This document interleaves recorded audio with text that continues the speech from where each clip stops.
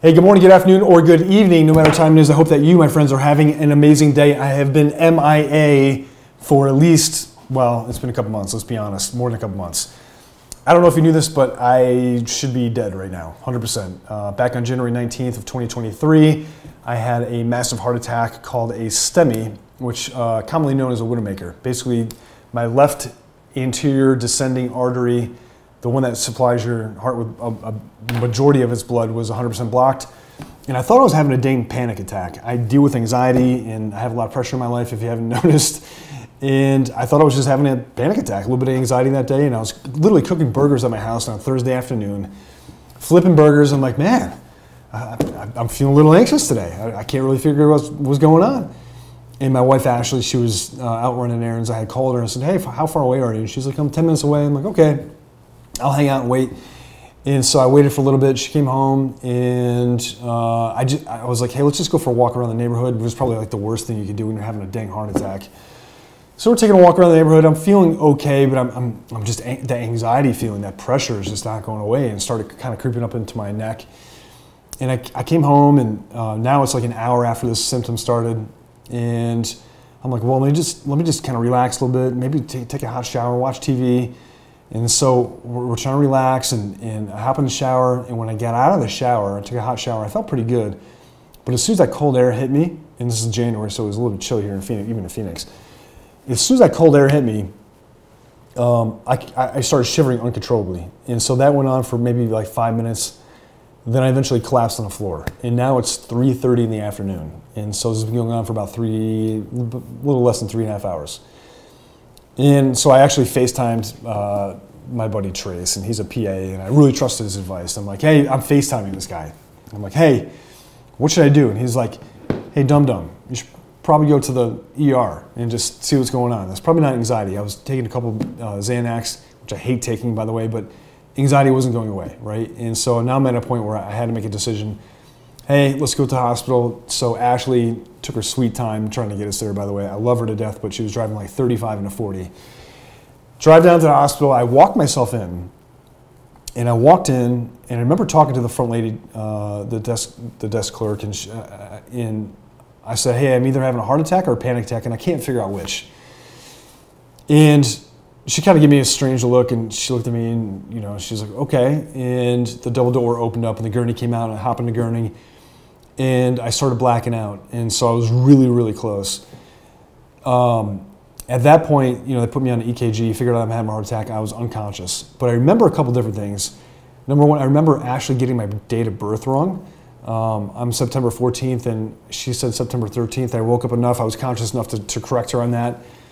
And then I remember very specifically one of the funniest things, and timing is everything in comedy, right? So I'm laying on the gurney. Uh, at this point, I'm naked and they're shaving me to do surgery.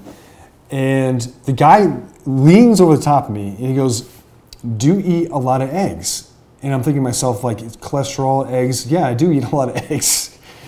And he goes, because you're yoked. And I, I will never forget that for as long as I live. And so they rushed me into surgery. I'm unconscious at this point. I don't remember anything. I woke up about three hours later, about 7.30 at night, and they put a stent in. And, um, you know, unfortunately, a lot of complications came from me waiting too late. I think if I had gone in right away when I started having symptoms, I wouldn't have the complications that I do. But the unfortunate reality is that a big portion of the left side of my heart, uh, the muscle died. And so that's left me with something called systolic heart failure. And unfortunately, you know, that is 100% fatal. And the only treatment for that at this point is drugs, which can prolong your life, uh, or a transplant, which I'm not eligible for. You need, it's based on a point system, and you need a certain amount of points to get a heart transplant, and I'm not there yet. Um, that is the unfortunate reality. I've had two uh, heart surgeries since. The last one was eight weeks ago today, matter of fact. And so the timing on this video is very, very poignant. Uh, if there's anything I can give you in the lessons I've learned over the last really, you know, six months, is that life is way too short. It's way too short. And for me, I'm a very, very driven individual and a very, you know, high level producing individual and I can't think of anything but work, we needed to have grace. And it's very important to give yourself grace at, certain points in your life. And one of the things I've learned is just to appreciate things and time, especially with people that you care about. And so we've done something that, you know, we've really changed our lifestyle. I've really, uh, I've sold off a lot of things that used to matter to me, like materialistic things, and really simplified my life. But bigger than that, you know, spending time with family. So we took a two and a half week RV trip around the, the country, the West Coast, and spent time with the kids, really good quality time, turned off the phone, delegated all my duties to, you know, the, the board of directors, and was able to take time for myself and my family and really appreciating the people that had been there for me. And a couple different things came out of this thing, but number one was I really understand who is on my side now, you know, who is really a ride or die.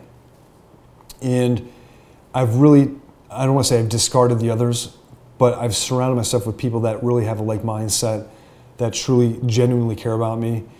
And people in my life that are here today are not really the same people that were in my life before the heart attack. And so I'm trying to figure out why I didn't do that sooner. Why I didn't simplify my life sooner. Why I didn't appreciate the people around me sooner.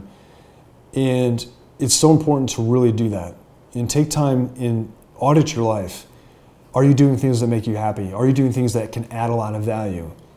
And when we make our lives about materialistic things, you know, like whether it be cars or personal items, you know, Louis bag or whatever the situation is, and you accomplish that goal, it's very unfulfilling. And I can tell you from this is from my personal experience, the most fulfilling thing you can ever do is help somebody else. So I'm going to leave you with a couple of different things. Number one, make your goals about helping other people for a couple different reasons. Number one, you can never reach that goal. I mean, you can never help enough people in your life. You can never make that impact. But I want you to start to think about your legacy. What does it mean when you're gone? What kind of impact are you going to leave on this world when you depart? And for me, that is the single most important thing is how people are going to remember me. So um, I'm back. Number one, I feel good. I feel great, matter of fact. Better clarity mentally. I'm stronger emotionally. And while I'm weaker physically, everything else compensates for it. So I'm very, very thankful. I'm very blessed to be here. Obviously, God had a different purpose for me, and I think that this is my second, my second chance. So expect a lot more content from me uh, because truly my purpose has shifted to really helping people, and that includes you. So please take two seconds to like and subscribe so you can see all my new videos. Thank you for tuning in. I genuinely appreciate you, and I love you genuinely beyond words. We'll see you very, very soon. Take care.